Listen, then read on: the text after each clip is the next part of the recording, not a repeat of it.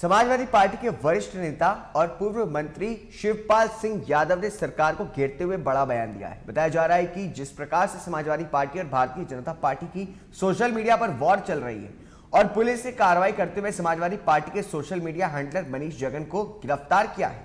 उसके बाद से समाजवादी पार्टी ने भी रिचा राजपूत के खिलाफ डिम्पल यादव के लिए अभद्र टिप्पणी पर मामला शिकायत करके पंजीकृत करवाया है।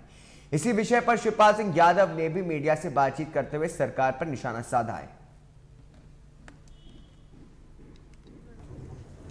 देखिए, इसके बारे में तो अभी हम निन्यानवे बार तक देख रहे हैं। निन्यानवे बार तक। और निन्यानवे जैसी पार होगा, वैसी बर्दाश्त नहीं करेंगे।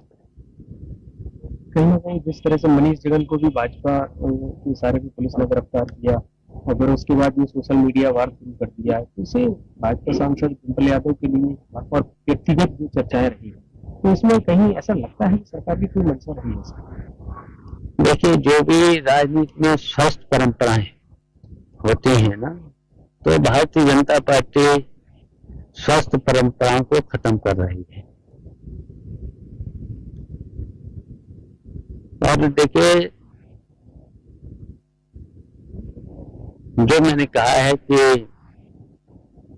अभी तो हम देख रहे हैं कि निन्यानवे तक जो बार बर्दाश्त करेंगे और निन्यानवे जैसे पार हो गए तो फिर बर्दाश्त नहीं करेंगे।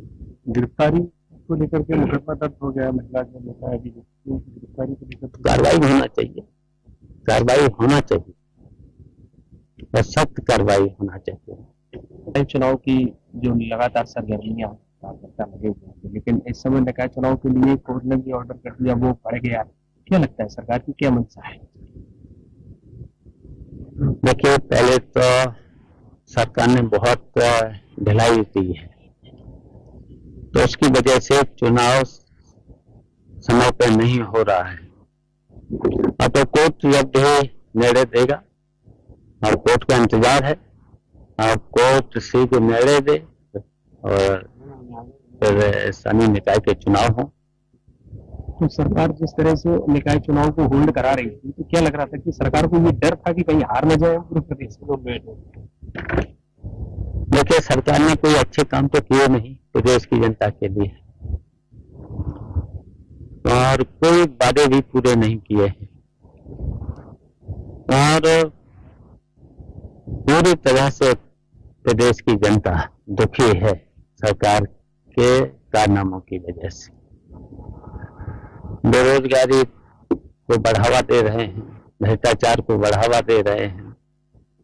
और कहीं पर भी देखिए, किसानों की एमएसपी के बराबर उसकी फ़सल की कीमत भी नहीं दे रहे हैं। तो ये समस्याएँ हैं।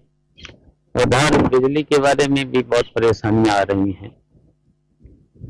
इतनी महँगी बिजली, और बिजली भी नहीं दे पा रहे हैं, और छापे अलग पड़ रहे हैं, जुर्माना अलग हो रहे हैं। तो ये सब परेशानी परेशानियाँ हैं।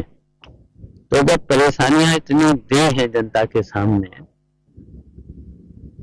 तो फिर चुनाव के परिणाम भी अच्छे नहीं आने हैं।